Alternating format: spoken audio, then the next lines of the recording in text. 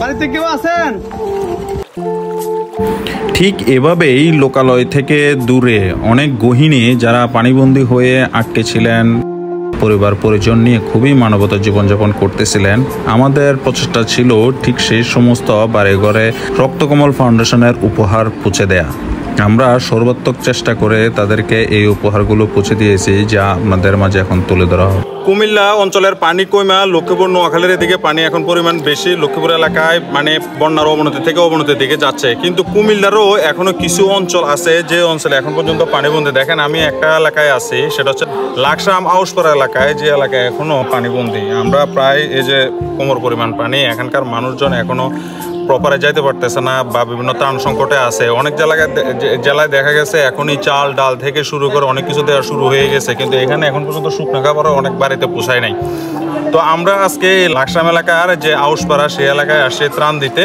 তো এখানে আমরা আসছি হচ্ছে কুমিল্লা সদর দক্ষিণ উপজেলার সুয়াগঞ্জ রক্তমল ফাউন্ডেশনের পক্ষ থেকে, যেটা আমাদের নিজস্ব মানে তত্ত্বাবধানে পরিচালিত, আমরা নিজস্ব অর্থায়নে পরিচিত। আমরা কোনো প্রকার অনুদান বা কোনো কিছু গ্রহণ করা ছাড়াই আমাদের নিজস্ব অর্থায়নে আমরা প্রায় দুশো পরিবারকে এখানে আমরা ত্রাণ দিয়ে গেলাম। তো এখন ত্রাণ কার্যক্রম চলতেছে নোয়াখালী ফেনী, কুমিল্লা সব জায়গায় চলতেছে। এখন ত্রাণ কার্যক্রমের দিকে পড়ে থাকলে হবে না। তো আমাদের চিন্তা করতে হবে ভবিষ্যতে, যেহেতু আমরা বন্যা পরিস্থিতি উন্নতির দিকে যাচ্ছে মানে এখানে ক্রমশ পরিমাণ পরিমাণ বা বুক পরিমাণ পানি ছিল, এখন কমে মাজা পরিমাণ আসছে। তো সামনে প্রয়োজন হচ্ছে পুনর্বাসন। পুনর্বাসন প্রক্রিয়ায় তা কারও ঘরবাড়ি নষ্ট হয়ে গেছে, রাস্তায় গাছ গাছালি পরে নষ্ট হয়ে গেছে। তো তাদেরকে পুনর্বাসন করাটা হচ্ছে সবার দায়িত্ব। তা আমরাও চেষ্টা করব পুনর্বাসন দেওয়ার জন্য।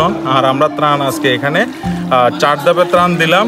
এখানে আমাদের চতুর্থ ধাপ চলতেছে, সামনে আমাদের পুনর্বাসন চলবে। এখন পুনর্বাসনে আমাদের যদি আর্থিক আর্থিকভাবে সহযোগিতার প্রয়োজন হয়, আমাদের গ্রুপে বা পেজে আমরা জানিয়ে দেব। তখন আপনারা আপনাদের সাধ্যমতো চেষ্টা করবেন আমাদের এই পুনর্বাসনে অংশগ্রহণ করার জন্য। তো এই সমস্ত এলাকায়, ভিতরে যে মানে প্রপার এলাকায় সবাই যেতে পারে প্রপার এলাকায় সবাই ত্রাণ দিতে পারে, কিন্তু অনেক ভিতরে দেখা গেছে, পানিবন্দি একটা বা দুটা গ্রাম পড়ে আছে, যেগুলোতে মানুষ যাইতে পারতেছে না পৌঁছাতে পারতেছে না।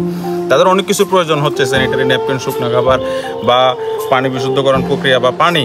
তাদেরকে পৌঁছানোর চেষ্টা করেন। এলাকার যারা যুবক সমাজ আছে, তাদের সাথে যোগাযোগ করলেই তারা আপনারা সঠিক নিউজটা জানতে পারবেন যে কোথায় এখন পর্যন্ত পানিবন্দি আছে। সে সমস্ত এলাকায় পৌঁছানোর চেষ্টা করবেন। তো আমরা এই আউসপাড়া এলাকায় ত্রাণ দিলাম। আমাদের এখানকার একজন বড় ভাই, ওনার মাধ্যমে, ওনার সহযোগিতায় আমরা ওনার কাছ থেকে একটু বক্তব্য নেওয়ার চেষ্টা করব। বিসমুল্লাহ রহমান রাহিম। আসলে আমরা সবাই অবগত আছি আমাদের এলাকার বন্যা পরিস্থিতি সম্পর্কে। অন্য অন্য জেলার মতো আমাদের লাকসাম উপজেলা পানিবন্দি এই এলাকা আগে পরে ত্রাণ কীরকম আসছে বা পানি পরিস্থিতি কীরকম এখানে?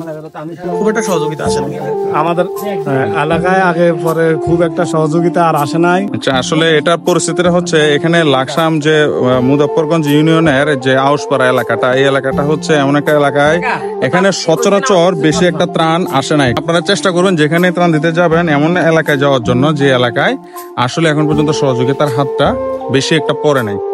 তো ভালো থাকবেন। আল্লাহ হাফেজ।